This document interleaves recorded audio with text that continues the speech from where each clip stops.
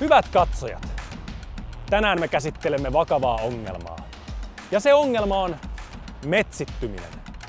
Suomessa on aivan liikaa puita ja metsiä.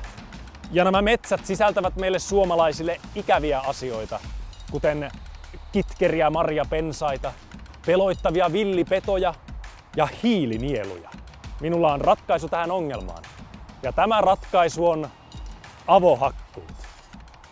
Avohakkuut on helppo ja yksinkertainen tapa päästä eroon synkästä korpimaisemasta kauniin horisontin tieltä.